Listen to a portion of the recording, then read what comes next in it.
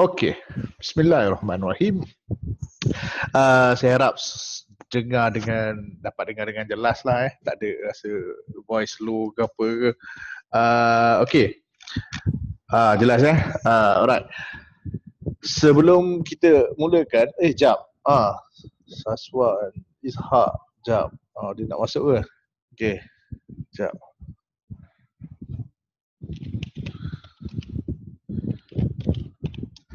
Uh, so tak apa saya kena kenalkan diri dulu. Uh, sebelum mula apa nama uh, webinar asas kita yang hari ni kita just uh, cerita macam mana kontrak CBO satu point berapa mata nak trade bulan ke berapa lepas tu uh, sedikit technical analysis yang asas yang akan membantu anda uh, untuk trade nantilah asas ni akan membantu anda untuk faham yang mana technical analysis yang advance yang Cikgu Wafi akan ajar nantilah. Okay. Uh, lepas tu, uh, eh nama tak beritahu lagi. Okay, nama saya Ahmad Farizul atau Abah Furqan lah orang panggil. Uh, dalam industri ni orang ramai kenal nama Abah Furqan daripada nama Ahmad Farizul. Okay, uh, saya di RHB Investment Bank USJ Taipan saya punya branch. Uh, okay, so itulah sedikit sebanyak tentang saya. Saya dah dalam berapa tahun dah. Ha? Lebih kurang kalau kira daripada eh ni dulu pun dekat 10 tahun jugalah dalam industri ni. Uh, okay, kejap ke rasa. Dulu rasa macam baru. Okay, uh, so cuma futures saya baru dalam 7 tahun macam tu. Uh, kalau sebelum tu saya equity saja, saya buat saham je. Tapi sekarang saya buat dua-dua. Okay, so uh, hari ni kita cover yang sedikit sebanyak tentang ni. Uh, sebelas benda ni. Okay. So kita akan go through one by one dan saya harap kalau siapa tak faham boleh tanya terus ataupun nak tunggu lepas habis webinar nak tanya lepas tu pun boleh. Dan kalau rasa macam tak tahu apa nak tanya nak tengok recording dulu lepas tu baru nak tanya sekali lagi dekat dalam Telegram punya group pun tak ada masalah. Okay nak tanya dalam webinar esok pun boleh. Uh, sebab webinar esok masih saya yang uh, handle lah. Uh, yang tu pun yang asas tapi about trading platform. Okay, trading platform kita ada juga yang baru dan esok yang pasal trading platform esoklah saya akan explain. Okay, so pasaran hadapan komoditi, eh, futures market, FCPO. FCPO ni stand for Futures Crude Palm Oil lah sebenarnya. Apa benda bunyi bising sangat ni ya? Sekejap. Kejap eh. Ada, oh, kejap eh. Rasa bunyi Facebook kot. Hidup tintong-tintong tutup lah. Okay. So uh, they stand for futures uh, crude palm oil. Okay, FCPO itulah dia. Kontrak niaga hadapan minyak sawit mentah uh, yang diniagakan dalam ringgit Malaysia di Bursa Malaysia Derivatif. Okay, uh, selalu kita tahu Bursa Malaysia je. Bursa Malaysia ni pasaran equity dia lah saham dia. So kita ada BMD. BMD stand for Bursa Malaysia Derivatif. Yang ni dia subsidiaries of Bursa Malaysia, uh, dia handle futures market dan yang paling popular adalah crude palm oil sendiri ya. Dah lebih 30 tahun sebenarnya since 1980. Uh, uh, 1980 so lebih kurang dalam 38 tahun dah sebenarnya. Ha. Lepas tu uh, dengan rekod prestasi dia yang dah lama ni dia masih popular jadi titik rujuk bagi pemain pasaran dalam industri minyak makan dan lemak. Okay. Uh, jual beli kontrak standard, komoditi ni dia tak macam forex. Okay, forex dia boleh buka 0.01 lot lah, 0.1 lot, 10 lot lah kan. Uh, dalam futures market dia standard. Satu lot is the minimum lah. Uh, then dua lot tiga lot dan sebagainya lah. Uh, satu lot tu kita panggil satu kontrak lah sebenarnya. Boleh kita satu lot satu kontrak tak ada masalah. Okay, dia tak boleh tiba-tiba nak setengah lot ke, nak buka position, nak buka 0.1 lot ke tak boleh. Sebab dia dah standard. Dia ada exchange yang dia telah tetapkan. Okay, so uh, Okay, So itulah sedikit sebanyak. Ni kalau siapa nak tahu pasal uh, bentuk gambar rajah uh, crude palm oil ataupun minyak sawit mentah macam ni lah dia. Okay, inilah benda yang anda nak trade tu nanti. Okay. So analogi pasaran ni very simple. Okay, peladang mengeluarkan palm oil. Uh, pekebun kecil ke tak kisahlah, ICOP ke, FGV ke kan, Verda ke kan. Jadi dia keluarkan, dia dia dia produce the CPO, the palm oil. Okay. Dan biasanya yang nak palm oil ni, yang paling ni adalah pembuat minyak masak, kita panggil refineries oil. Okay. Uh, sebab main production, main kegunaan untuk minyak sawit ni adalah untuk buat minyak masak lah. Untuk goreng makanan dan sebagainya lah, minyak lah kan.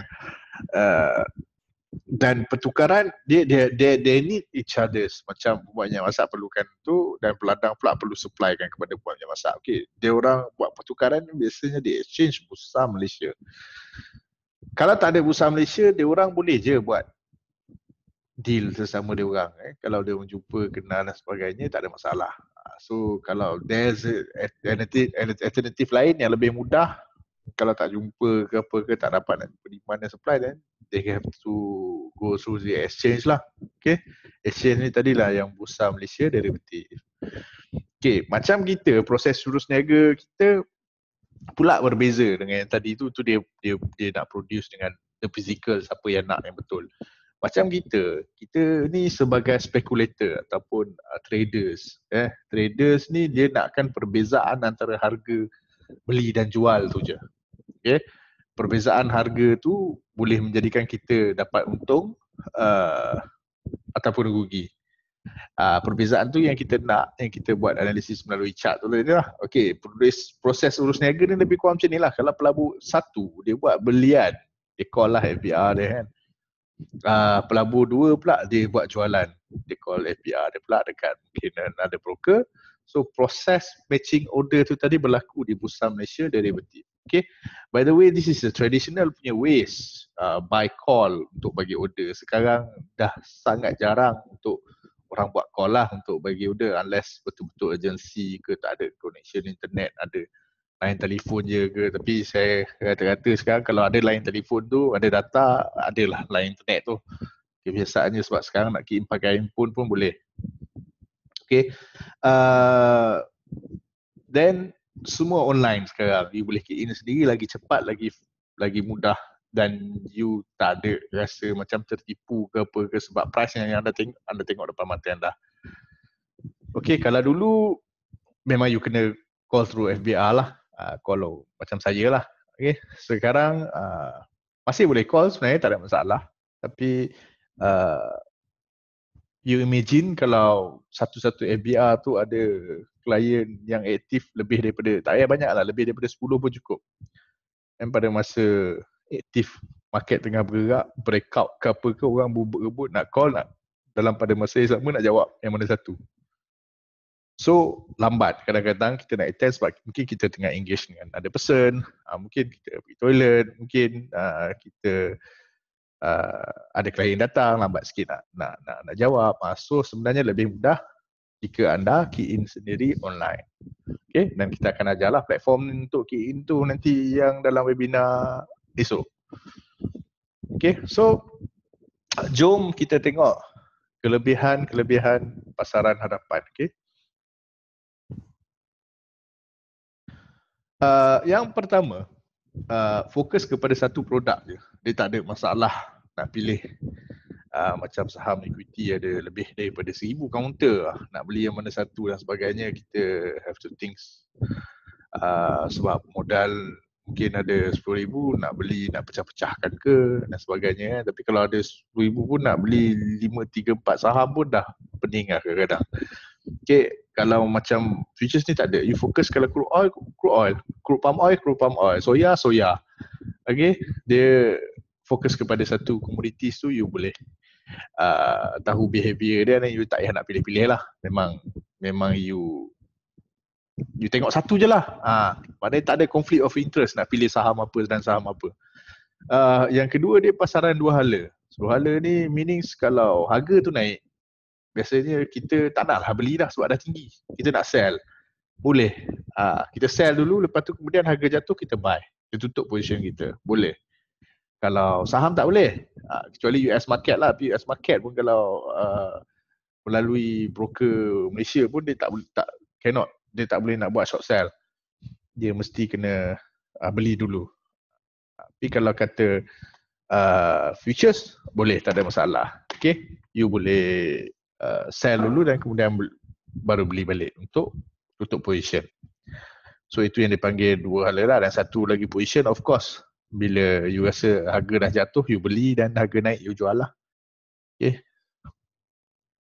Kecairan yang tinggi pada setiap masa tak ada masalah uh, volume hilang ke tak ada ke as long as you trade kontrak bulan yang betul bulan yang ketiga bulan yang traders uh, berkumpul beramai-ramai untuk trade volume yang banyak adalah bulan yang ketiga kita akan explain further about that nanti uh, so bila you trade volume sentiasa ada lah. Maknanya you nak keluar masuk tu tak ada masalah. Okay.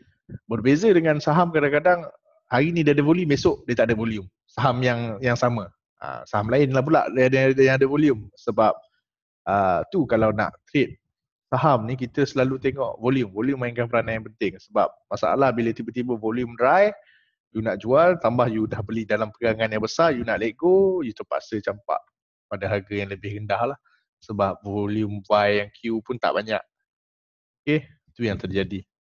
Uh, Bos yang tetap uh, lebih kurang sama je. Saham pun ada JST, ada yang tetap. Uh, keuntungan CBO, yes. Bebas daripada cukai.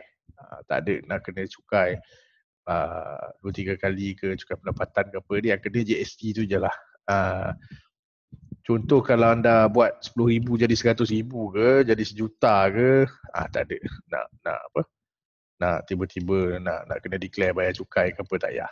Tapi kalau kiranya tiba-tiba LSDN tanya, eh duit banyak ke apa ke masuk ke sebab ada saya ada klien eh uh, uh, LSDN cakap duit banyak masuk daripada keuntungan SPO dia lah. So, saya cakap tak apa, tak ada masalah just simpan you punya monthly statement then bila dia orang rasa uh, nak tengok nak bukan bukti tunjuk lah.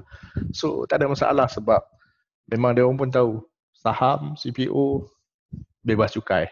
Tak dikenakan cukai. Pendapatan tu kalau anda dapat bersih-bersih lah. Okay Uh, CPO menawarkan leverage yang tinggi di mana potensi pulangan adalah lebih tinggi bagi setiap ringgit yang dilaburkan berbanding uh, peluang-peluang yang lain lah. Sebab CPO ni dia pakai margin okay? pakai margin, uh, margin ni berubah daripada masa ke semasa. Uh, konsep ni you boleh nampak nanti dalam penerangan macam mana nak kira keuntungan CPO nanti. Uh, kenapa saya cakap dia leverage yang tinggi. Leverage ni dia pisau dua mata. Kalau you menggunakan dengan cara yang betul you boleh buat profit yang banyak uh, dengan modal yang taklah seberapa banyak tapi kalau anda menggunakan dengan cara yang salah, anda boleh rugi banyak juga. Okay. So yang paling penting sekali, CPO disahkan oleh Majlis Penasihat Syariah Suruhan Jaya Security sebagai produk pelaburan yang mematuhi syariah. Anda boleh rujuk website Suruhan Jaya Security Malaysia ataupun link dekat bawah ni. Boleh ambil. Nanti saya akan bagi slide recording pun boleh tengok lagi uh, dan you boleh klik dekat slide ni nanti dia akan keluar you boleh rujuk muka surat 84 sehingga 88 uh, dia menyatakanlah sebab-sebab dia dan kenapa dan sebagainya. Sebab ada orang bila dia ingat futures dia haram. Tak. Komoditi syariah komoditi yang bukan ribawi item uh, bukan silver and gold yang ada physical deliveries dia okey dia syariah okey. Okey ni faktor-faktor yang mempengaruhi harga pasaran CPO antaranya adalah permintaan ekspor CPO tu sendiri okey? Uh, kata kalau kita punya uh, CPO ni permintaan uh, yang paling banyak adalah daripada China dan India. Uh, saya tak tahu kalau ada berubah sangat sebab kita orang tak tak ini just for the knowledge sebab kita takkan trade based on fundamentals ataupun news ya. We fokus 100% on technical analysis. Okay. Kalau nak tahu kenapa, tanya Cik Wafi sebab news ni memang mengarut. Uh, sometimes dia dah factor in, sometimes dia tak bergerak mengikut news tu punya. Kalau kata news tu boleh tapi tiba-tiba dia gerak beri. So, no point. You kena tengok CPU punya chart juga sebenarnya. Okay, so just for the knowledge, kalau permintaan ekspor tu tinggi, banyak demand for CPU, of course, harga CPU naik lah. Okay, pengeluaran-penawaran CPU pun mainkan peranan. Pengeluaran production kita banyak supply, tapi demand kurang, of course harga jatuh lah. Tapi kalau banyak supply, demand pun banyak, then okay lah. Dan kalau kata supply pula kurang, demand lagi banyak, of course harga akan naik. Okay, dia main macam tu je uh, supply and demand. Simple concept of uh, ekonomi punya ekonomi asas punya apa uh, term lah yang kita gunakan. Uh, yang ketiga harga minyak mentah. Harga minyak mentah dunia uh, crude oil. Okay? Crude oil sekarang berada di paras lebih kurang 65 dolar per barrel. Okay? Boleh kata quite relevant juga sekarang antara this level dengan sebelum ni lah sebelum yang jatuh mendadak ke 20 30 dolar tu uh, crude oil berada di paras uh, 120 dolar per barrel. Yang tu memang lagi efek dekat harga CPO sebab CPO ni dia ada kena mengena dengan biodiesel. Biodiesel boleh menggerakkan kenderaan dan menggunakan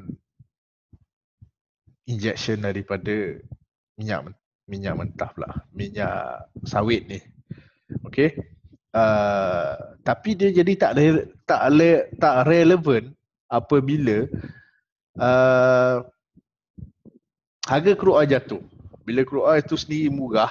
So orang akan optional for the crude oil sendirilah daripada biodiesel tapi apabila crude oil harga menaik dengan mendadak balik, orang akan optional kepada biodiesel sebab biodiesel lebih murah. So apabila demand biodiesel meningkat, begitu jugalah demand FCPO. Dan apabila demand menaik, of course harga dia pun akan naik lah. Itu salah satu yang memainkan peranan juga yang efek. Yang keempat kita boleh cakap harga minyak harga minyak soya dunia. Uh, disebabkan ia adalah barang yang pengganti. Okay, barang yang pengganti ni alternatif lah. Barang yang alternatif ni kalau, kalau kita tengok dia mesti bergerak almost seiringan. Okay, kalau kata CPU naik, soya pun akan ikut naik. Kalau CPU jatuh, soya pun akan ikut jatuh. Sama juga kalau soya naik, CPU pun akan tend to follow up. Kalau soya jatuh, CPU pun akan tend to follow down. Sebab apa? Sebab bila kita cakap barang pengganti, uh, orang yang nak beli produk ni, dia ada dua option. Minyak sawit atau minyak soya. Okay. So apabila minyak soya naik, dia akan option beli minyak sawit lah. Sebab minyak sawit yang tak naik lagi, murah. Apabila dia beli minyak sawit, dia akan create demand for minyak sawit tu. Minyak sawit tu pun akan naik sama tinggi dengan minyak soya. Okay. Begitulah uh, dia punya logical uh, movement dia. Uh, sama juga kalau jatuh, uh, salah satu pun akan tends to follow lah. Okay, sebab dia tak boleh nak satu tinggi sangat, satu rendah sangat. Tak. Uh, kecuali kalau sawit kita di boycott lah. Baru-baru ni kata kata nak boycott apa semua. Tapi bagi saya benda tu dah lama dah kalau ikutkan duk fikir uh, apa duk duk cerita boycott kata minyak sawit tak bagus lah apalah Europe Eropah dan sebagainya tu. Uh, propaganda ada orang lah tak tahulah betul ke tak betul tapi sebab isu tu sebenarnya dah lama dimainkan uh, bagi saya benda ni kalau dia nak cakap minyak sawit ni sih kurang sihat ke apa ke it doesn't matter tak effect pun sebenarnya dekat uh, orang ini personal opinion eh. Kalau saya salah salah lah uh, bagi saya tak efek pun kepada uh, kapitalis-kapitalis yang memang dia pakai minyak uh, minyak masak untuk menggoreng. Contoh hmm, franchise-franchise yang besar kat dunia KFC ke McDonald ke yang gunakan untuk goreng minyak, eh, untuk goreng minyak untuk goreng ayam, untuk goreng french fries dia ke semua. Adakah dia orang peduli tentang faktor oh, minyak ni kurang sihat ke dan sebagainya? Dia tak peduli, dia peduli yang bagi dia, oh yang mana lagi murah, yang itulah dia beli, yang dia pakai. Okay, dia mesti nak optimizekan dia punya profit dan minimizekan dia punya cost. Okay. Uh, yang kelima faktor cuaca. Faktor cuaca kalau di mana uh, keadaan berjerebu, so kita tahulah ada kebakaran kebakaran berlaku di bahagian-bahagian tertentu yang mungkin melibatkan kawasan-kawasan ladang-ladang sawit. Uh, dan pada masa itu lonjakan harga akan berlaku lah biasanya sebab supply erupted kacau. Sama juga kalau banjir besar ke anything natural disaster yang melibatkan mengacau pengeluaran tu tadi. Pengeluaran uh, minyak sawit tu sendiri. Dan dia akan effect on the price lah. Okay. Itu pun kalau demand sama ataupun meningkat. Tapi kalau pada masa yang sama cuaca tu uh, faktor cuaca tu berlaku tapi minyak uh, demand tiba-tiba berkurangan then tak effect banyak lah for the price tu. Okay, yang keenam faktor nilai ringgit Malaysia. Currency kita kalau mengukuh, maknanya ekspor orang akan berkurang. Ekspor akan berkurang lah sebab those people yang ekspor, bila currency kita rendah, dia boleh ekspor banyak. So demand for CPO sendiri dia lebih banyak lah. Tapi kalau dah mahal currency kita, dia orang boleh beli sikit je lah. So demand tu jadi kurang. Uh, sebab tu ni kalau faktor currency ni dia tak boleh terlalu tinggi juga. Okay, sebab kalau terlalu tinggi tak bagus untuk ekspor. Okay, you get the idea. So ini orang kata just for the knowledge. Okay. Supaya kalau macam at least kalau ada pertanyaan ke apa kita tahulah apa yang boleh bergerakkan dia. Kejap eh. Tunggu sekejap.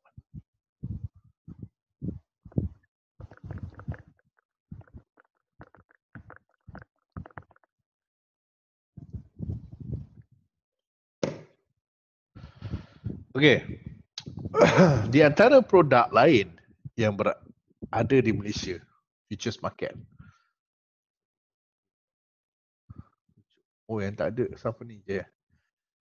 John Belacan. Okey. Kita ada CPO yang patut syariah tadi yang paling popular adalah CPO lah. Yang kedua kita ada FGLD, pasaran hadapan emas, tak patut syariah sebab Lizard dia bawa item lepas tu dia tak ada physical delivery dia cash settle only. FKLI index composite kita tak patut cari ah index tu uh, composite dia punya dia punya apa kata ah sub komponen dalam tu sendiri tak banyak yang non syariah counter lah. So tak boleh. Uh, F-Tin uh, kita ada Timah eh Timah eh itulah Timah. Uh, tak betul syariah juga produk komoditi semua dah okey cuma dia bukanlah dia tak ada physical deliveries dia based on cash settlement semata-mata. Okay so bila physical deliveries tak ada tak boleh dia jadi tak syariah juga. Alright ni yang ada dekat uh, Malaysia yang yang popular tapi gold dengan tin pun tak ada volume yang antara yang popular sebenarnya CPU dan FKLI tapi since FKLI tak patuh syariah so for local product FCPO saja Okey, berbanding dengan produk pasaran hadapan yang lain antara mangsa eh, international kita ada soya, kita ada crude oil, kita ada copper, natural gas, corn. Okey.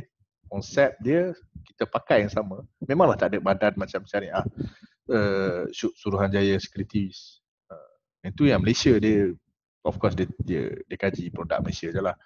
Uh, tapi basis yang kita pakai sama dengan apa yang diaplikasikan terhadap FCPO punya penerangan as long as the commodity ada physical delivery commodity tu uh, tak ada uh, tak haram bukan pork belly ke bukan lean hog ke kan uh, bukan ribawi item so silver bukan silver bukan gold. So ada physical delivery so we take it as same lah.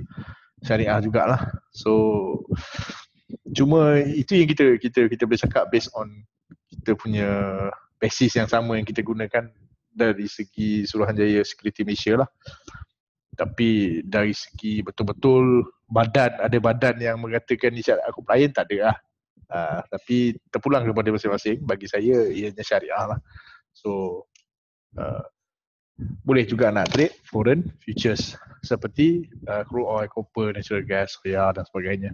Yang ni pun ada dalam trading platform yang sama. you boleh trade pada waktu malam. Mungkin jika anda busy pada waktu siang untuk trade SPO. Okay. Tetapi margin dan spesifikasi dia berbeza sikit lah. Berbeza, bukan berbeza sikit, berbeza setiap produk tu berbeza-beza. Okay. Kalau nak tahu lebih-lebih lanjut boleh tengok dekat saya punya YouTube channel. Adalah a few things yang saya terangkan. Kalau tak nanti kalau siapa nak tahu boleh boleh tanya kemudian lah. Okay, ni channel YouTube saya. Uh, saya ambil link ni lah eh, share kan boleh subscribe boleh like boleh tekan notification. So bila ada new information ataupun new video yang saya letakkan you boleh nampak you boleh dapat notify. Macam contohnya teletubbies ni. Uh, ah, bila dah subscribe kat sini dia ada button loceng kat sini kan? Ah, you tekan klik uh, you'll get occasional notification macam tu lah Okay, so kita teruskan.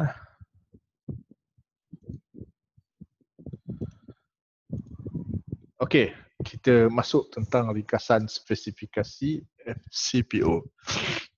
Okay, minyak sawit mentah ni, fizikal ni, satu tick ataupun satu point ataupun satu mata sama saja bersamaan dengan RM25.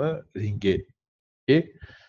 Kontrak tamat expired pada 12 tengah hari pada 15 hari bulan setiap bulan. Okay. Pening sikit, tak apa. Nanti yang bahagian kontrak ni kita akan explain uh, uh, detail lagi.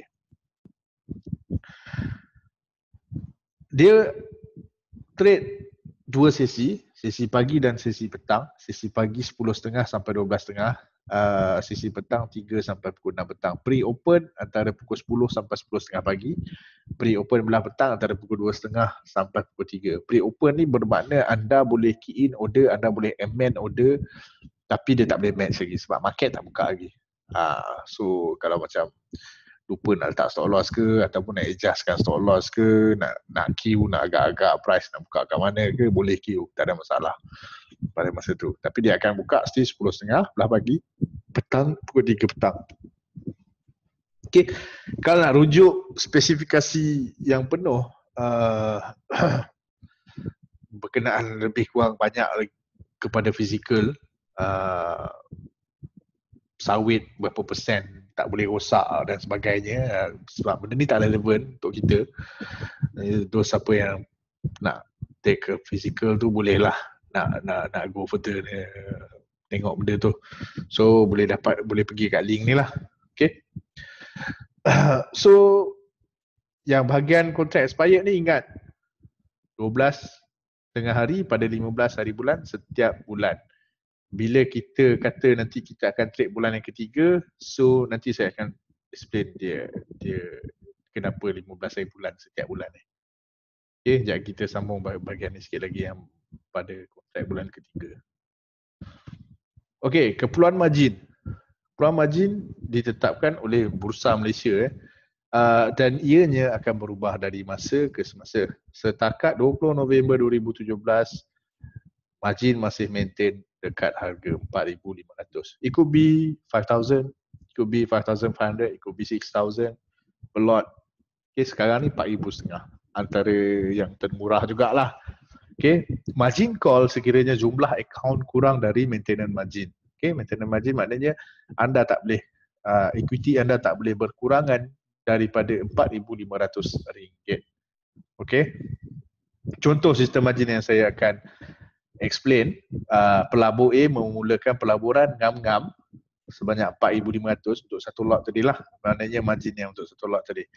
Dia buat belian buy satu kontrak pada harga 2700 dan uh, kita ambil contoh uh, broker sebanyak RM40 uh, esok hari CPO naik kepada 2750 dari harga belian 2700 so perbezaan dia 50 tick lah 2700 tolak sorry 2750 tolak 2700 so 50 tick ataupun 50 mata.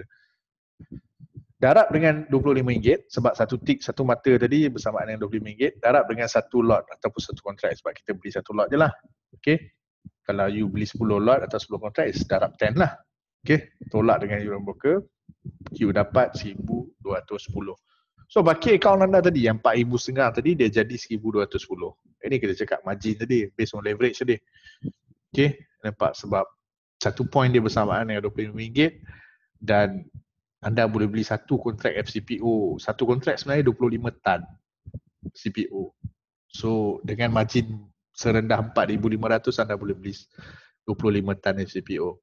Ha, konsep dia macam itulah. Ha, sebab tu satu point dia bersamaan dengan RM25. Sebab dia kali dengan 25 tan. Okay, so ini kalau untung. Kalau rugi, uh, contoh dia pula turun kepada 2680, you rugi 20 ticks. Mungkin dia turun lebih banyak tapi anda anda letakkan stop loss anda sebanyak 20 point saja. So kena cut loss lah. Kena cut loss point anda. So darab dengan 25, darab dengan satu lot dengan fees maknanya rugi sebanyak RM540. 4,500 anda punya baki account tadi tolak 5,400 tinggallah 3,960 so yang ni pun kita boleh cakap margin call sebab harga dah berkurangan daripada 4,500 uh, harga pula anda punya balance. Sebab kalau anda nak buka position lagi anda kena top up lagi 540 baru anda boleh buka position untuk overnight lah. Sebenarnya kita ada day trade margin. Day trade margin ni sebanyak 200 2250 saja iaitu 50% daripada full margin. Full margin 4500. Apabila kita cakap 50% uh, 2250 lah. Okay. So, uh,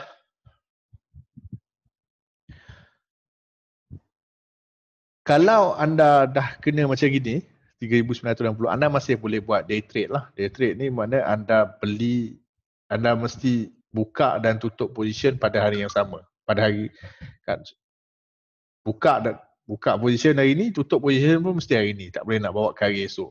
Nak bawa ke hari esok tu dia mesti kena ada sekurang-kurangnya 4500 untuk satu kontrak ataupun satu lot. Okay? Faham eh?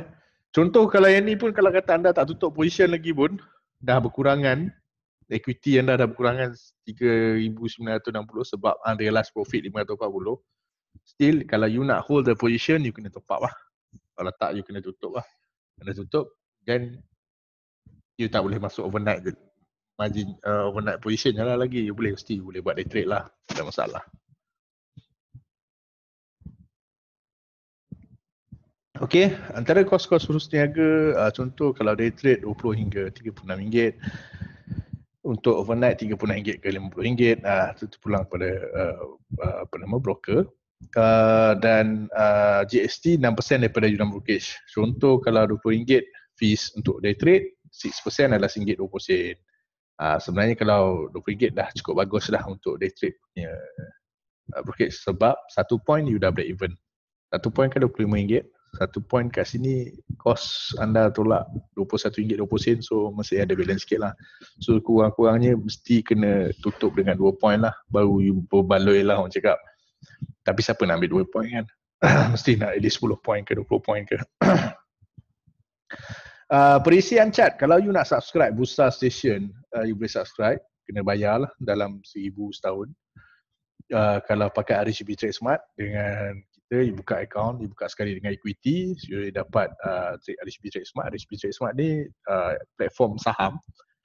Tapi dekat sini kita tengok uh, chart FCPO uh, untuk key in kita pakai J Trader. Uh, kita ada lagi satu platform yang mana uh, key in dekat situ, chart pun dekat situ. Kita dipanggil GTS Ayers. Dekat saya punya YouTube saya ada explain. Saya ada beritahu pasal platform ni sebab dia baru apa semua. Cuma untuk kita punya webinar esok, platform kita just cover global J Trader.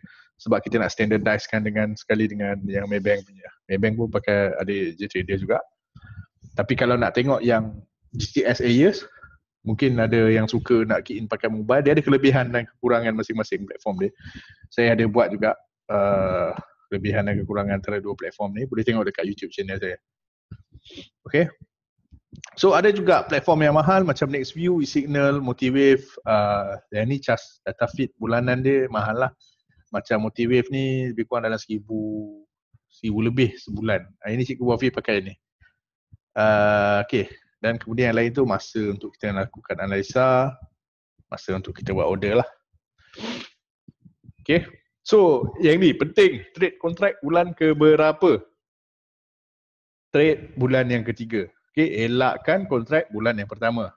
Sebab kalau anda tak tutup uh, kontrak nak expire physical delivery mesti dilakukan. Uh, so tak naklah kita nak sawit dan sebagainya kan. Tapi selalunya kita akan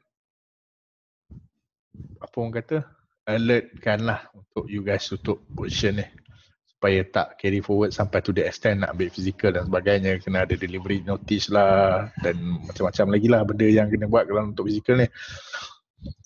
Cuma yang paling penting keluarkan kontrak bulan yang pertama. Spot month ni kita tak nak. Sebab spot month ni dia dah nak expired. Bila dia nak expired uh, bahayanya kalau anda simpan dalam trading platform anda takut anda tertekan. Anda nak trade bulan yang ketiga, tiba-tiba anda tertekan bulan yang pertama. Okay? Kalau tak pasti tanya dengan FBI anda. Okay, macam nak tahu bulan ketiga ke, bulan satu ke, bulan dua ke, bulan yang pertama ke. Okay, macam ni. Cara yang pertama, paling mudah. You go through the Bursa Malaysia punya website. Kita, kita pergi yang the real lah. Sebab data lama.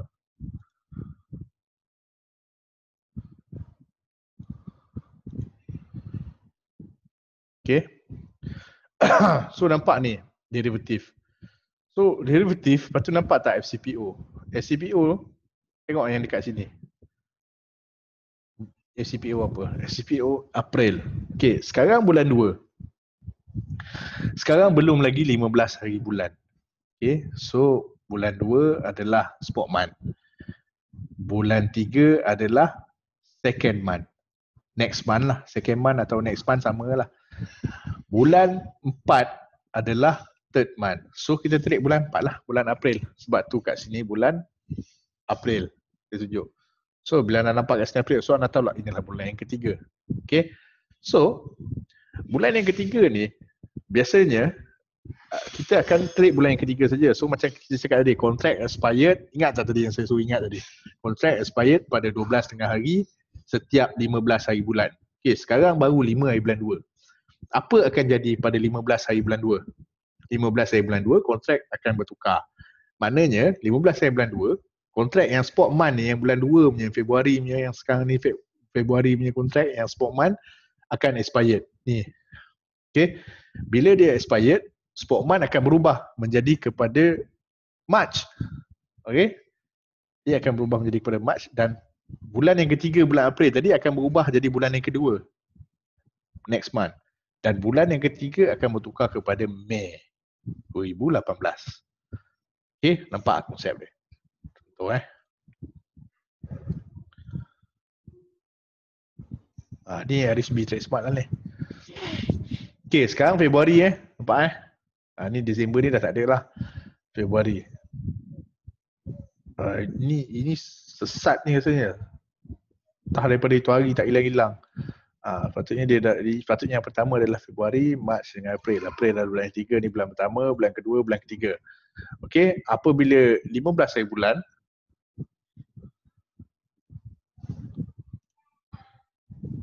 Yang ni akan pergi sini. Eh sorry sorry. Yang ni akan pergi sini. Yang ni akan expired dan bulan ke bulan yang ni akan pergi sini. So yang ni pula akan jadi bulan yang ketiga adalah Mei. Okay, so pada 15 hari bulan tu anda nak trade bulan April lagi tak ada masalah. Tapi 16 hari bulan, the next day, the next business day, sebaik-baiknya anda trade bulan Mei lah. Anda tukar lah. Nampak tak sebab apa bulan ketiga?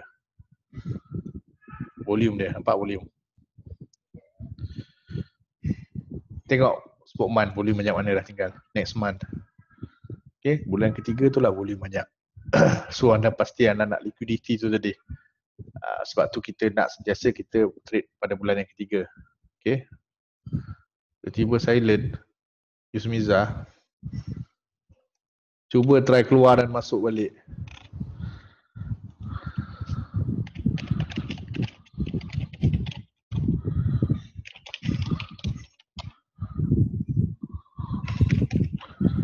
Oh sebab dia, dia private. Saya reply kat dia pun private. Yang lain dengar tak? Ya kan saya shock sendiri cakap tapi yang lain tak dengar. Ha, dengar. Uh, Yusmiza. Sekejap. Oh, dia dah keluar. Nanti dia masuk balik. Pasal benda tu private dia je yang boleh nampak. okay. So faham eh konsep yang bulan ketiga ni? Eh, ni lain kadang-kadang mesti dah buat homework kan.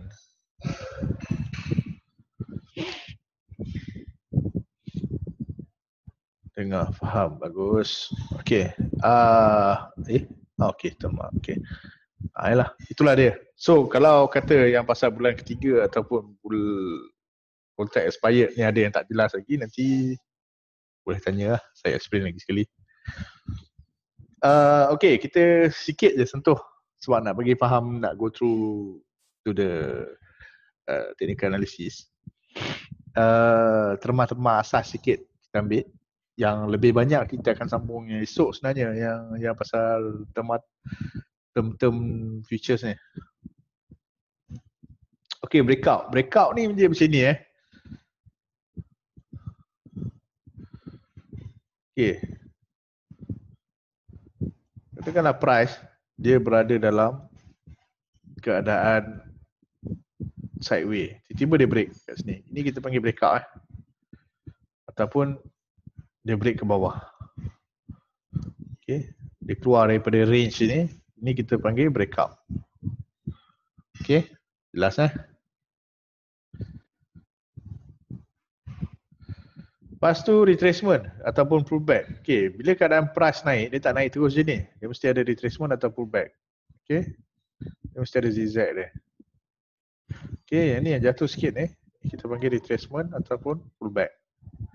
Okay, ataupun bila dalam keadaan jatuh pun dia naik jatuh je ni. Okay, ni retracement ataupun pull pullback. Okay, risk reward ratio. Risk reward ratio ni Sekejap eh. Okay. Risk reward ratio ni dia macam ni. Katakanlah kita ambil satu nisbah dua.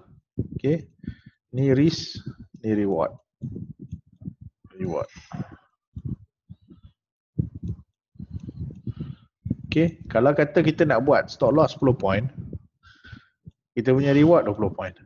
Itu kita panggil satu nisbah dua lah. Maknanya kita merisikokan satu ringgit untuk dapatkan dua ringgit. Faham kan? Okay. So dia mesti sekurang-kurangnya satu nisbah dua. Jangan satu nisbah satu. Tak best lah, tak cantik lah dari segi money management. Satu nisbah dua ataupun tiga ataupun empat dan lagi tinggi dia punya return lagi bagus lah. Tapi susah pula nak TP. Ha, itu dah pro-pro sangat dia boleh lah satu nisbah sepuluh ke. Ha, tapi untuk permulaan satu nisbah dua atau tiga dah cukup bagus. So bila you risikokan 10 point, you nak dapat 20 atau 30 point. So bila you risikokan 20 point, you nak dapatkan 40 ke 60 point. Faham kan? Okay. Uh, long, buy, short, sell.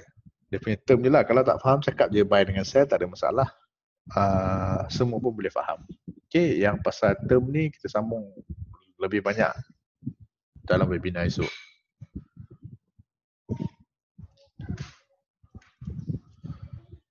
Okay, technical analysis yang kita masuk eh. Sekejap eh.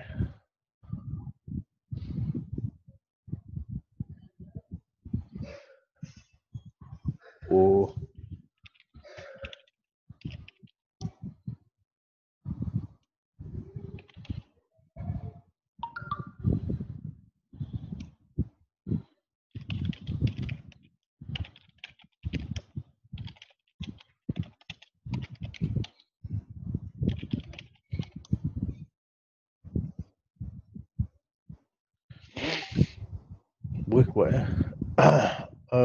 quê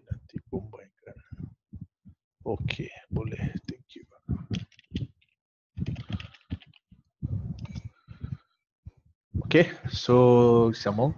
Sorry, ada gangguan sikit. Uh, apa yang technical analysis yang cover hari ni adalah asas tapi tolong fahamlah yang asas ni sebab dia simple tapi yang simple ni begitu penting yang asas ni begitu penting sebab dia akan digunakan dalam you punya next webinar dengan Wafi nantilah. Uh, macam mana nak tahu major candlestick reversal, support dekat mana, resistance dekat mana, trend line macam mana dan sebagainya. Macam mana moving average berfungsi dan sebagainya. So dekat situ you akan dapat. Kalau yang ni nanti you tak faham nanti kat situ you tak you tak nampak. Okay. Alright, so kita go through. Technical analisa adalah alat mengkaji pergerakan pasaran dengan menggunakan chart. Ya, Ismiza dah dengar.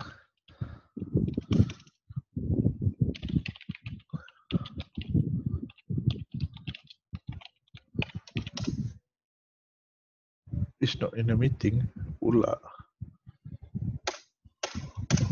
apa lah. Okay. So, uh, okay, jenis-jenis chart. Uh, kita ada candlestick, bar chart, line chart dan point and figure. Candlestick dia macam ni.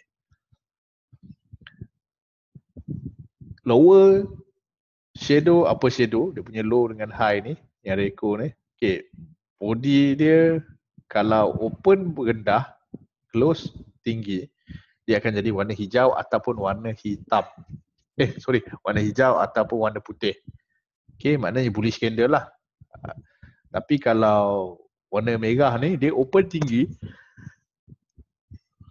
tapi body dia close rendah. Okay dia ada badan dia kan? So dia akan jadi warna merah ataupun warna hitam. Okay kalau bacat dia tak ada body dia tak ada badan dia. Dia ada high close open low je. Sama juga ini high close open dan low tapi ini dia akan create badan dia kalau apa dan sebagainya lah. Dia ada bentuk badan dia. Yang ni tak ada. Ada macam lidi je. Okay.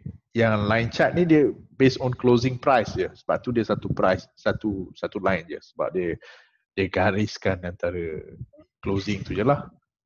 Okay, point and figure pula price naik, dia XX, price turun, dia kosong-kosong. Itu just nak tahu je. Uh, chart yang kita akan pakai adalah candlestick reversal sebab dia mempunyai information yang banyak. Okay kita akan balik-balik kepada candlestick nanti. Okay, so sekarang kita nak terangkan pasal uh, support dan resistance. Okay, support uh, dia macam gini. Okay, katakanlah price uh, bila jatuh certain level, dia tak boleh nak tembus. Dia mesti pantul balik. Sampai je level ni yang sama, dia pantul balik. Sampai level yang sama, dia pantul lagi lagi banyak pantulan dekat level yang sama lagi kuat support tu. Ha, ini kita panggil support. Okay. Ada buyer tunggu dekat support ni. Level ni level orang nak beli. Sebab tu dia suka memantul. Ini kita panggil supportnya uh, level. Berbanding dengan resistance, dia belah atas. Sampai je dekat level ni dia patah balik. Sampai je dekat level ni dia kena tendang balik ke bawah. Sampai je level ni dia patah balik. Sampai je level ni dia patah balik. Okay, ini level-level kuat yang seller tunggu nak jual. So bila sampai je area ni biasanya harga akan patah balik. Ini kita panggil resistant punya price lah. Ataupun halangan. Okay. Ha, dia jadi breakout bila dia dapat tembus lah. Ha, dia jadilah breakout. Ini pun sama kalau dia dapat tembus, dia jadilah breakout. Okay lagi banyak dia touch, lagi kuat support atau resistance tu. Okay, lagi banyak price touch. Okay, support menjadi resistant apabila harga pasaran telah pecah, breakdown, turun ke bawah. Okay, ini support. Dia pecah, dia break. Breakdown eh, breakout eh kat sini. Lepas tu dia datang balik kat level ni. Jadi resistant. Level yang sama tu kadang-kadang dia memang kuat. Okay, dia boleh jadi support, dia boleh resistant. So ini support become resistant. Kita panggil SBR. Okay, support menjadi resistant. Support become resistant. Okay. Terpadam. Okay, lagi satu, resistant menjadi support apabila harga pasaran telah breakout ke atas menaik. Uh, kita boleh panggil uh, RBS. Okay. Ini resistant. Dia boleh break. Dia pergi balik dekat level yang sama. Support. Okay. Resistant become support. Dia panggil RBS. Kalau tadi SBR, yang ni RBS. Resistant become support. Okay, faham eh? Fahamkan dulu konsep eh?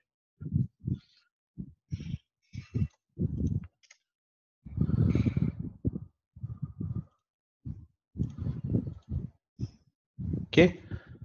Mengenal pasti uh, sokongan ni, kalau lebih lama saya, saya cakap tadi, lebih lama dan banyak harga berulang, lebih kuat para sokongan atau rintangan. Itu satu cara nak determine support and resistance. Cara yang kedua dengan menggunakan Fibonacci retracement. Cara yang ketiga dengan menggunakan trend line. Cara yang keempat dengan menggunakan moving average. Okay, dia ada empat cara eh, ingat eh. Support and resistance. Okay, kita tengok contoh kepada uh, cara yang pertama dulu. Sekejap eh. Yang lagi.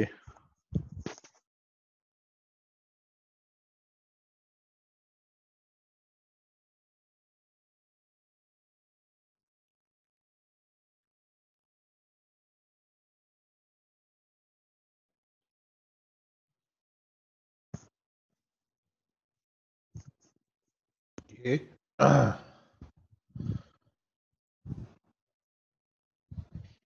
Uh. Alright. Okay, kalau nampak eh. Resistant, resistant, resistant, resistant. Breakout eh. Breakout. Lepas tu dia jadi support boleh dekat level yang sama. Ini kita boleh cakap SBR, uh, RB, RBS juga. Resistant become support. Uh, okay, nampak eh ni. Ni, ni, ni, ni. Kalau anda tarik pun anda boleh dapatkan satu trend line. Trend line ni nak nak, nak tarik tak susah. Okay. Hanya sambungkan dot dot dot price lower dia tu. Dapatlah satu trend line. Okay. Ni lower lower dia, lower dia, lower dia, lower dia, sambungkan. Okay, sama juga ni kalau trend line daripada atas.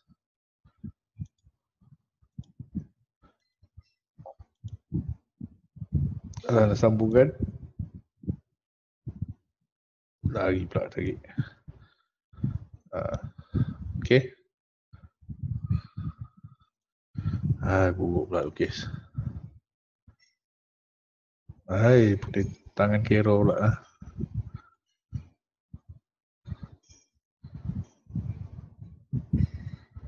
Ah, itu sah tak ada pembaris.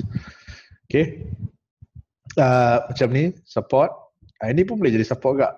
Trend line ni. Yang ni kejap lagi trend line kita cerita. Uh, ni jadi resistant. Trend line juga. Okay. Ni support, support, support, support, support.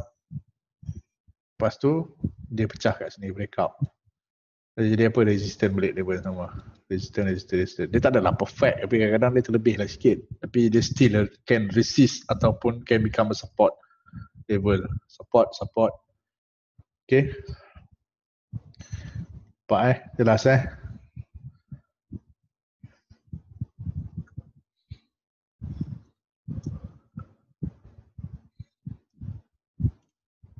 Okay. Okay, ni kalau Fibonacci pula. Fibonacci kalau kita nak tengok uh, support resistance juga. Okay, Fibonacci jangan susah, jangan pening. Uh, dia merupakan satu indikator yang memang dah tersedia ada dalam uh, trading platform chart yang kita akan pakai. Kita just klik je nak ambil apa Fibonacci retracement. Dan kita akan tarik daripada bawah ke atas. Setiap satu gerakan harga yang sebegini lebih kurang. Okay, daripada low dia sampai high dia. Ha, katakanlah price dia berat macam tu, ha, ni kita tarik daripada sini sampai sini. So dia akan keluar level-level dekat sini. Okay, nak 38% ke, 50% ke, 68% ke, 72% ke, 78% ke, ha, level-level tu dia akan keluar automatik. Dia ada 23, 38, 50, 61.8, 38.6 dan 100%. Ha, ini biasa kita ambil lah. Ha, dia akan retrace kat level-level ni yang kita boleh determine juga dekat mana dia jadi support. Okay, sebagai contoh, yang ni kita tarik daripada sini sampai sini. Okay, so dia keluar. Dia retrace dekat level ni. Nampak? 38%. So kita boleh cakap dia support dekat level Fibonacci 38%. Ha, dekat sini kita akan jumpa lah candle reversal dan sebagainya untuk determine dekat level mana dia nak rebound. Ha, sebab tu kejap lagi bahagian candlestick reversal yang tu you kena hafal. Yang tu paling penting. Yang akan membantu you dalam trading. Okay. Lepas tu sebagai contoh, kita tarik pula daripada sini sampai sini. Ni tak ada lagi eh, abaikan. Contoh ni tak ada lagi.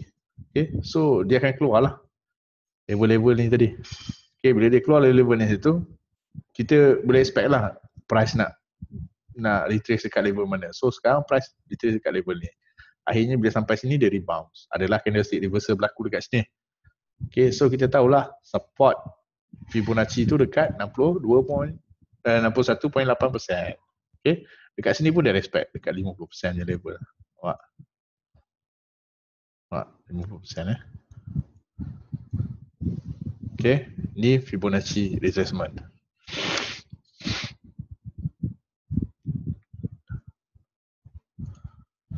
Okay, moving average pula.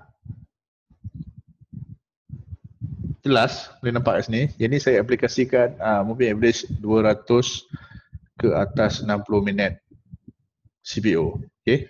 So support, support, support, break. Okay, bila dia break jadi resistant. Support bukan resistant ni. Tengok oh, resistant, resist, resist. All the way down. Lepas tu kat sini resist. Break boleh. Kat sini dia break boleh. Okay, support, support, support, support. Okay, nampak eh. Dia punya konsep. Uh, moving average juga boleh dijadikan sebagai support and resistance. Dan dia boleh juga dijadikan sebagai trend lah. Bawah daripada moving average tu, kita boleh cakap downtrend. Atas kita boleh cakap uptrend.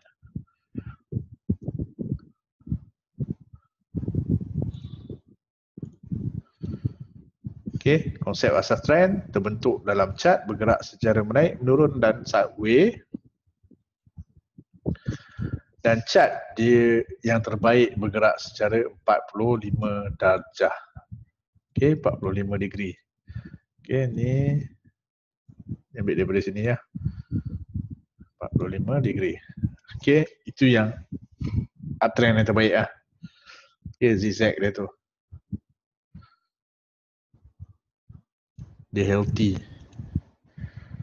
Okay, trend ada tiga arah, uptrend, downtrend, sideways. Okay, kalau sideways simple saja, dia macam ini je.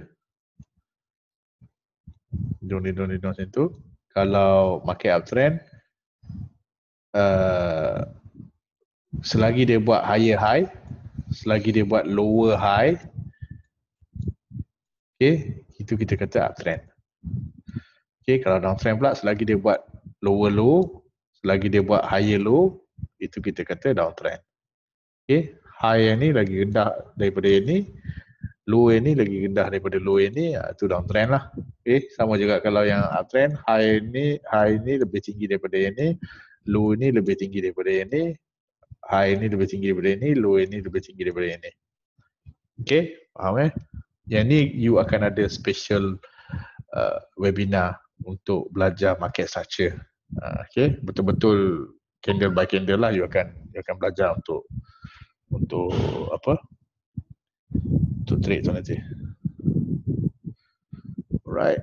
So berbalik kepada quotes kita, trend is your friend except at the end when it bends.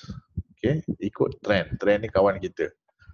Jangan lawan. Kebanyakannya orang yang ikut trend macam mana salah dia pun dia boleh untung balik sebab dia masih follow major trend. Alright, so ni major trend dia. Uh, antara salah satu. Ini tak 45 darjah eh. It's steep trend line dia. So nak beli dia macam susah sikit. Nak detect untuk support dia. Tapi dia break dekat sini. Kalau dapat tangkap, dia jatuh pun dia akan laju.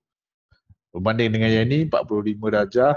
Agak healthy. So dia boleh masuk dekat level-level support ni. Okay. Uh, ni dia dah break. Lepas tu dia jadi resistant balik kat sini. Baru dia terjun.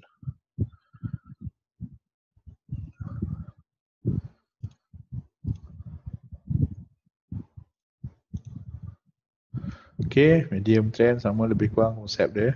Uh, tengok ada reversal. Reversal candle bila kita scope. Ada berlakunya reversal candle. Support tu. Tu kat situ beli, lepas tu kat bawah ni stop loss. Kan kecil stop loss jadi ya. So kalau untung, untung banyak, risk, risiko kita kecil.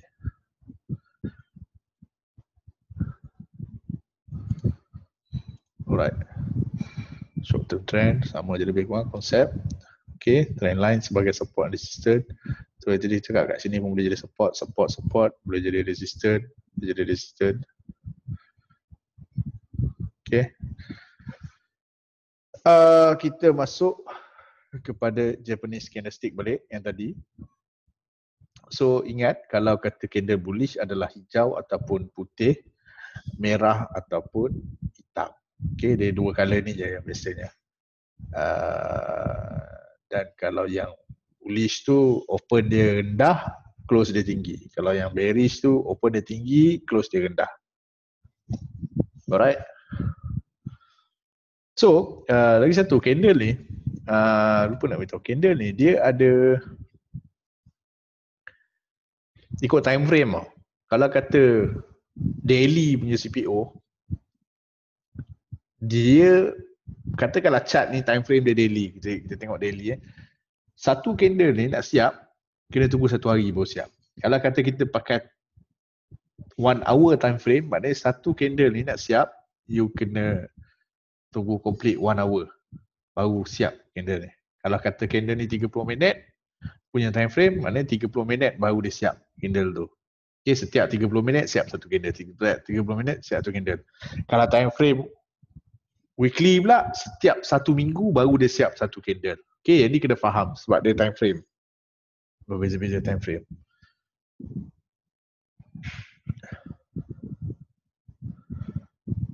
Okay, reversal candle pattern. Atau yang ni kita panggil uh, candlestick reversal pattern. Boleh juga. Uh, Astagfirullahaladzim.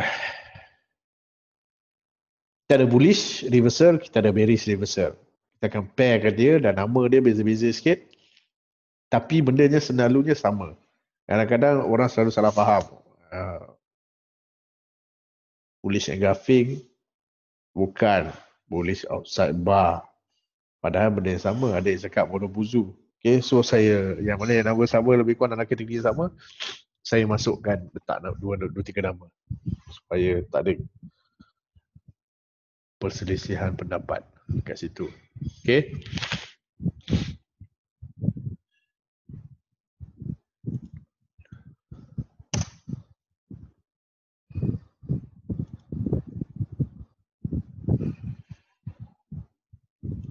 Okay.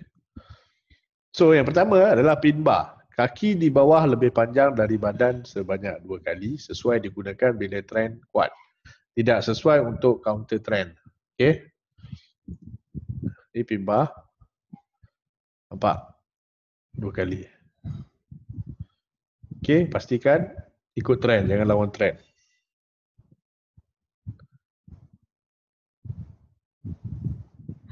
So, ia adalah candle yang bullish.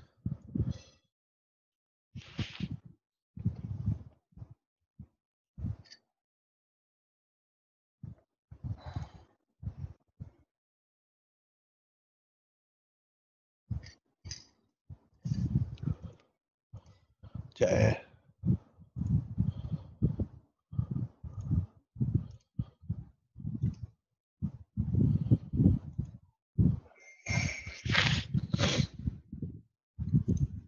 Okay. So yang F, pinbar ataupun hammer. Okay, dia punya lawan adalah pinbar juga ataupun shooting star. Uh, tapi ini kita panggil bearish pinbar. Okay, dia macam shooting star sikit. Dia berada, biasanya berada dekat level-level resistance tu. Dia punya uh, karakteristik sama. Kaki lebih panjang daripada badan sebanyak dua kali.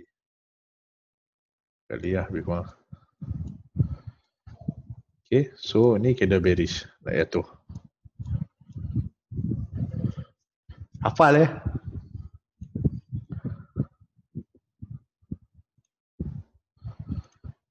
Okay, yang ke yang pair yang kedua adalah bullish outside bar ataupun bullish engulfing ataupun murubuzu lah. Candle kanan menutupi candle sebelah kiri. Sebab high dia, low dia yang candle sebelah kiri ni berada dalam dekat dalam ni. Okey pak high dia low dia. Okay, candle sebelah kiri kecil candle sebelah kanan besar. Okey warna apa? Warna bullish lah so tanda nak naik tanda nak naik okey sebab color dia tengok mother mother candle dia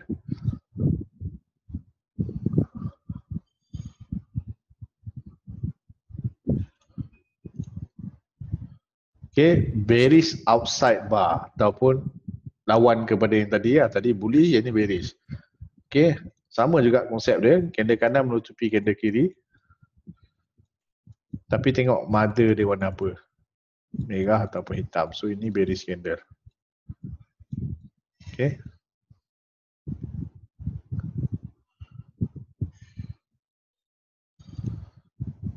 Inside bar. Isaiba ataupun harami. Harami ni bahasa Jepun.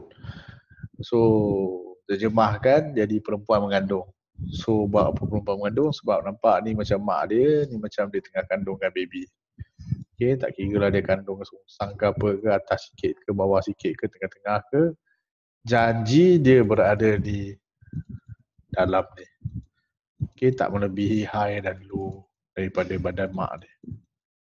Uh, dia tak lawan toki lah tak lawan mak dia. Okay. Dia tak kira color. Apa pun kita boleh panggil sidebar. Dia punya karakteristik lebih kepada ini. Harami menaik terbentuk daripada dua candle. Okay. Satu candle besar, satu candle kecil. Uh, candle mak dengan candle anak. Candle yang pertama punya badan yang besar dan kedua tubuh kecil yang benar-benar diliputi oleh candle yang pertama. Sifat bullish atau bearish inside bar ditentukan oleh warna mother bar ataupun candle sebelah kiri. Okay, warna mother bar ataupun candle sebelah kiri. Okay, yang ini inside bar, bullish inside bar. Sebab apa bullish inside bar? Sebab color mother bar dia adalah warna hijau ataupun warna putih. So, nak menaik. Contoh dia. Tapi salah satu lagi uh, cara orang gunakan adalah tengok dia break dekat mana. Dia break high ke dia break low. Kalau dia break low pun walaupun ini bullish candle dia boleh jadi ke bawah. Okay. So kalau bullish candle dia break ke atas maknanya baguslah kita ikut entry kalau ke bawah jangan lah. Konsep dia macam tu lah.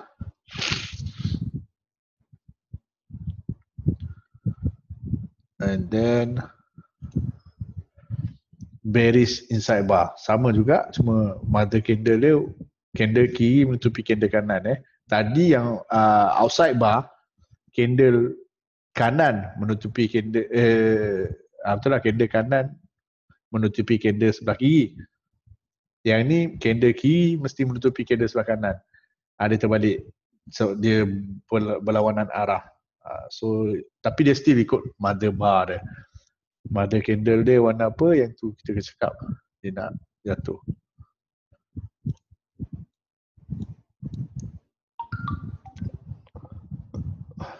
Okay. Lepas tu morning star. Morning star jika ada gap ke bawah adalah jenis yang kuat. Jika tak ada gap tetap boleh digunakan. Tapi yang ada gap tu lagi kuat lah. Okay, dia terdiri daripada tiga candle. Candle pertama jatuh, lepas tu candle yang kedua ni kecil je. Candle besar ni dia lawan balik candle yang first ni. Jadilah morning star. So nak ingat senang je, morning star matahari terbit, dia nak naik. ke atas. So lagi terbit kan naik ke atas. Morning Star. Okay, so uh, cara dia punya pair dia, lawan dia Evening Star. Sama cuma terbalik. Uh, dia naik dulu, lepas tu jajaran yang kecil, candle kecil, lepas tu dia lawan balik candle yang first, dia jatuh balik. Ni matahari terbenam lah. So dia nak jatuh lah. Okay. Sama juga kalau ada gap dia lebih kuat, tak ada gap tetap boleh guna tapi dia tak berapa kuat lah. Okay. Uh, pair yang terakhir adalah double bottom bar. Kaki dia mesti selari. Kaki bawah dia. Okay. Dan yang badan sebelah kanan ni mesti potong badan sebelah kiri. Tengok mata dia kalau apa. Dan biasanya nak pergilah tulis lah. Double tembal dia punya partner lawan dia double top bar. Double top bar kaki belah atas pula selari. Kaki belah atas selari. Okay, tengok mata bar kenapa dia mesti potong candle sebelah kiri. Harga nak jatuh. Okay konsep dia is very simple. Cuma you kena hafal kena ingat bentuk. Uh, sebab ada candle yang Uh, satu candle je. Ada yang dia pair ada dua candle sebelah-sebelah baru you nampak. Ada yang tiga tiga gabungan tiga candle. Uh, macam evening star, morning star dia. Kena ingat itu lah. Okay. So apa itu moving average? Uh, habis lah bagi candle. Yang penting kena hafal. Sebab dekat candle-candle ni nanti, candle-candle reversal nanti yang kena determine anda nak uh, bila anda jumpa, anda tahu dia nak reverse kat mana, tengok dekat support atau dekat resistance atau dekat trend line atau dekat Fibonacci retracement ataupun dekat moving average. Okay, moving average ni macam mana kita nak tahu macam nak gunakan. Apa benda sebenarnya moving average tu, dia macam indicator juga. You just set nak pakai moving average berapa, cikgu Afi akan beritahu nanti. Dia akan ajar sama ada cross moving average antara dua moving average atau tiga moving average. Uh, cuma yang ni saya nak terangkan macam mana moving average sebuah fungsi. Okay, moving average tu adalah purata harga. Okay, contoh kita ambil harga closing dia 11, 12, 13, 14, 15, 16, 17. Okay, so kalau kata kita nak ambil 5 moving average, 5 MA. Okay, 5 MA, maknanya kita ambil 5 hari yang pertama ni, 11, 12, 13, 14, 15. Bagikan dengan 5, 13. Dapat satu titik. Okay, so hari kedua pula kita ambil daripada sini. Dapat bagi dengan 5 juga, dapat satu titik sama juga hari ketiga bagi dengan lima juga dapat satu lagi titik. So kita sambungkan. Jadilah line moving average tadi. So kalau 50 moving average maknanya 50 hari dicampur bagi dengan 50. Ah dapatlah moving average 50. Okay, kelebihan dia bila market trending, kekurangan dia bila market sideways. Bila market sideways selalu kena. Bila market trending, ah dia band lah, dia cantik lah. You akan dapat right. Tapi selalunya susah. Sebab emosi tak tahan. Nak naik tu orang selalu akan ambil profit juga. Okay, kegunaan moving average dan cara guna untuk kena pasti trend dia boleh act as a support and resistance yang macam kita cakap tadi support and resistance salah satunya boleh gunakan moving average. Cara nak beli beli di atas line moving average jual di bawah line moving average. Tu basic konsep moving average. Okay the real one uh, macam mana cara nak guna moving average hari yang keberapa? Gabungan antara dua ke tiga ke moving average? Teknik lima lima rules ke apa ke? Nanti yang tu yang advance cikgu Afi akan belajar. Konsep basic ni you try ingat dalam kepala. Apa benda moving average ni? Oh purata harga. Okay, at least you tahulah. Okay, siapa ada soalan? Setakat tu je webinar kita malam ni. So sambung kita sambung lagi esok. Cuma siapa ada soalan ataupun ada yang tak jelas tadi boleh tanya. Saya cuba explain lagi. Saya harap semua dah ada account eh yang yang ada dah register dengan saya Siti Hawa Sazwan Huzlan Sazwan Huzlan Sazwan Ishak lah rasanya Huzlan Yusmi Zayu lepas tu John Belacan baru lagi minta form. Saya cuba hantar tak tahulah sempat ke tak yang tu John Belacan tu. Sebab tak tahu dia dah dapat ke belum. Sebab saya tanya pun dia tak ada reply. Ha, so yang lain kalau tak ada buka lah cepat-cepat. Kalau dah ada tak apa Alhamdulillah. Sebab masa korang nak belajar nanti waktu kelas lah. Pastikan you all ada chat.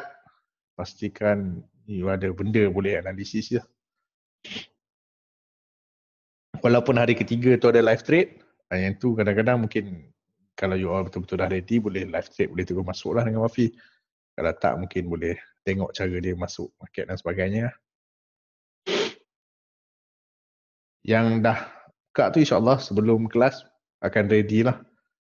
Uh, yang belum lagi kalau kata nak roger saya lepas ni insyaAllah tapi saya tak jamin sebab nak buka account pun kadang-kadang makan masa 2 ke 3 minggu. Uh, sebab queue dia dah tak macam dulu. Dia jadi panjang. Tapi kita cubalah untuk cepatkan juga. Sempat lah tapi tak boleh nak janji lah. So, ada soalan tak ni? Bukan. Ya saya. Okay, saya nak tanya pasal kontrak yang tiga bulan ke hadapan tu kan. Okey. Ya, sekarang ni tadi you tunjuk April kan. Tapi sekarang ni Ni siapa? Siti Hawa ke? Nur Asmah? Siti Hawa, okey. Ah, okey.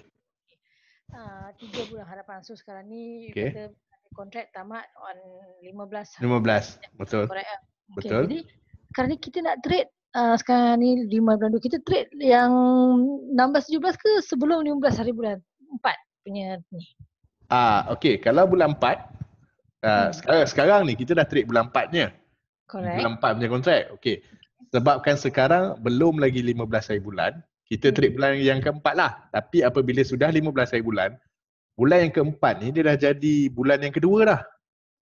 Sebab Jadi 15 ke bulan sorry ya 15 ke bulan 2 atau 16 bulan 2 kita trade bulan 5 punya. Is it macam gitu? boleh masa 15 hari bulan 2. Sebenarnya sekarang pun kita nak trade bulan 5 pun dah boleh. Tapi sebaik-baiknya bu- 15 hari bulan tu kita boleh lagi trade bulan yang keempat. Lepas daripada 15 tu baru kita trade bulan yang baru lah. Bulan Mei. Ah, Mei. lepas, lep, maknanya 16 hari bulan biasanya baru biasanya baru orang tukar kepada bulan yang seterusnya. Ah, Okey. Okey lagi satu soalannya sorry banyak tanya pula. Ah yang apa. tadi cakap uh, kalau untuk apa day trade tu kita boleh dalam 2002 2500 kan? ah betul. Biasanya macam Cikgu Afiq tunjuk tu dia punya modal 3000 lebih and at the end of the month dia dapat berapa 9000 Ah, tu. Itu dia ah. buat day trade tu macam mana? Okey, kalau dia walaupun dia starting dia punya modal tak sama macam 4,500 muka mungkin dia punya Hmm. start sebab dia dia ni dia dia dia dah berpengalaman, dia dah pro. So, Okey. bila dia start daripada 3,000 lebih tu pun uh, pada asalnya dia day trade tapi at the end of the day masa dia day trade tu dia punya profit dah melebihi daripada 4,500. So, Oh. equity balance dia dah boleh nak overnight position dia. Ataupun Okey. Ataupun sehari katakanlah 3,500 setengah lepas tu hari ni mungkin dia untung 500 esok dia untung 500 dah jadi 4,000 setengah Hmm. so of course uh, lusa tu dia dah boleh nak overnight position pun boleh lah uh, sebenarnya dengan day trade pun kita boleh je nak nak naikkan kita punya capital ataupun uh, profit tu tadi uh, so bila kita profit dah banyak kita boleh lah overnight sama je faham. uh, uh, thanks. Boleh. Uh, Sazwan Huzlan tanya, Abah Furqan, apa maksud market dua hala? Boleh jual dulu dan baru boleh. Okey. Sazwan, bila maksud Wah halak aku punya nyala ni. Bila masa pula tanya dia ni? Ini ni.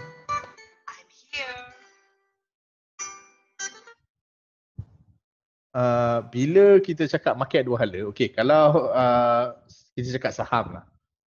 Saham market satu hala. Bila cakap market satu hala, bila kita beli, kita mesti beli dulu, lepas tu baru kita boleh jual sebab kita dah miliki barang tu. Berbeza dengan market dua hala, kita tak ada lagi barang tu tapi kita boleh masuk position sell.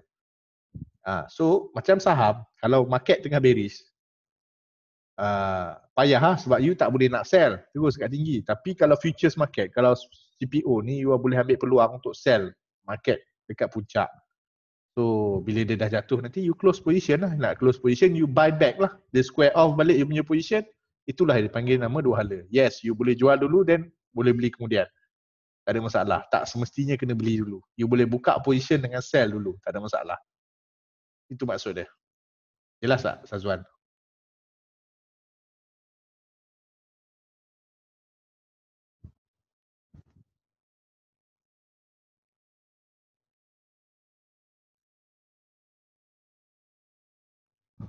Okey, Sazwan, jelas?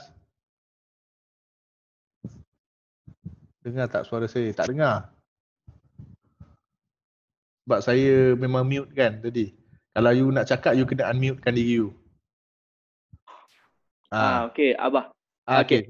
Abah, okey, maksudnya kita beli dulu and then bila harga tu dah jatuh, kita letak position untuk beli. Betul. Ah, so Ma- harga tu mana, maknanya bukan kita beli dulu, kita jual dulu. ya jual dulu. Ah, bila ah. harga dah jatuh and then kita letak position beli. Beli, betul. Ah, Ah, so, so- itu dia panggil dua hala sebab kita boleh sell Oh. dulu. Ah, Oh, okey, faham faham. ah, ah, ah, Ah, lagi satu, ah, kita kita trade FVPO ni by lot kan. So satu lot 4500. betul. Contohnya kalau kita dah untung lah, uh, satu hari tu kita dah untung let's say lah macam tadi contoh kan kita Ah. dah untung 1002. Ah, So kita kita punya modal dah jadi 5700. betul. So uh, contohnya hari berikutnya kita nak trade lagi. So yang yang keuntungan tu biasanya trader dia dia dia tarik dulu untung tu ke akaun lain ke ataupun dia maintain dalam Okey, yang, yang ni yang ni soalan ni subjektif, depend. Sebab ada trader yang dia suka withdraw bila dia dah untung tapi tapi dia tak adalah macam uh, untung lepas tu terus withdraw. Biasanya dia orang akan buat decision mungkin seminggu sekali ke tapi selalunya sebulan sekali. oh, Okey. Katakanlah dia start daripada 5000 tapi uh, at the end of the month adalah untung rugi untung rugi at the end of the month untung 1000 lebih. Ah uh, maknanya total dia punya balance jadi 6500. So dia withdraw 1500 tu dia tinggalkan balance 5000 tu je. mhm. Okey. Ini type yang pertama. Ada satu lagi trader, dia tak nak withdraw. Dia memang tak akan withdraw sebab dia nak uh, dia punya modal tu jadi banyak, berkembang supaya uh, bila dia dah confident dia akan tambah lot. Dia akan tambah lot compounded, compounded, compounded supaya dia boleh main besar dan dia punya account pun lagi cepat grow lah. Oh. Ah, tu itu depends dengan dengan trader. You kalau kalau nak jadi yang pertama pun boleh, yang kedua pun boleh, tak ada masalah. So Ah, ada ada trader yang target untuk tambah lot lah eh. ada, ada mesti Ah, sebab okay. kalau kalau dia punya uh, apa nama orang kata pandangan dia jauh untuk pergi lebih jauh, cara dia macam itu lah. Alright. Ah, alright. Uh, Sazwan Ishak tanya, uh, cikgu maksud overnight tu apa? Ada pun position sehingga jam 6 petang ke dan position tu sama sampai esok? Okey, bila pukul 6 petang Sazwan, market dah tutup. Tapi bila kita cakap overnight tu, kita punya position masa pukul 6 petang tu masih belum close. So bila dia sambung kepada hari esok, apabila sambung kepada hari esok, kita bawa overnight lah position tu. Maknanya esok baru kita tutup position tu ataupun nak tutup lusa ke minggu depan ke ah, pulanglah janji sebelum kontrak expired. Uh, so itu maksud dia overnight maknanya kita bawa position ke hari esok. Uh,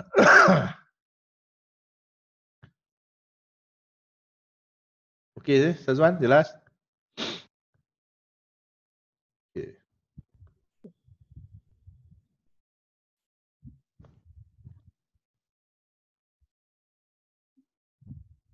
Uh, Tuan Yusmi Zayub tanya, Tuan, bila kita buat market order buy, kena serentak ke masukkan stop loss?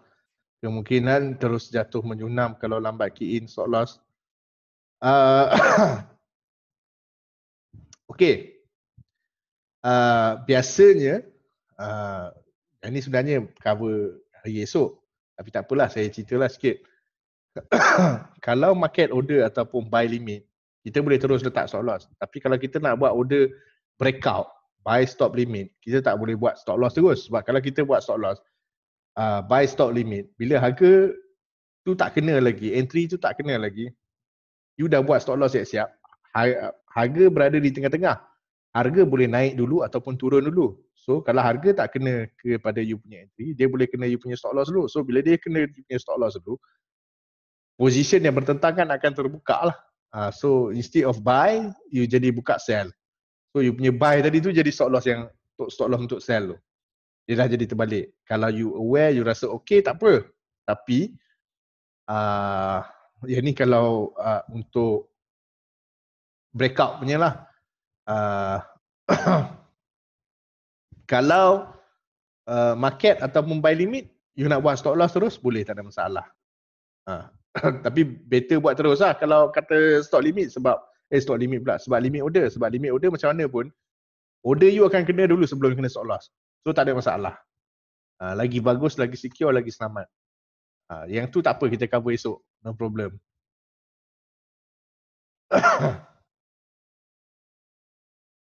So ada apa-apa soalan yang lain? Sebelum kita akhiri webinar kita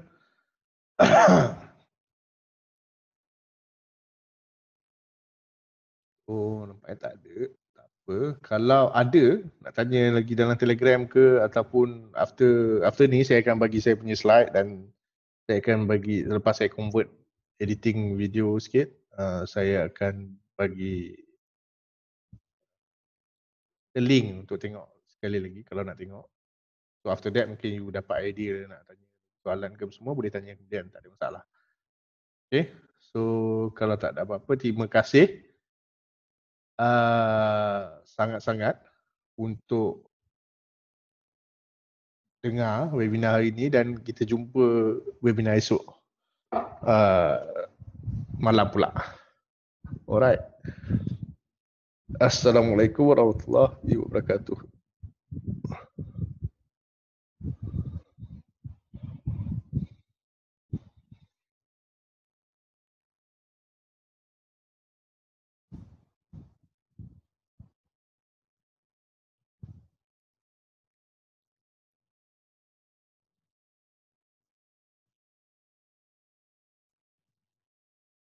Okay, slide dah bagi eh.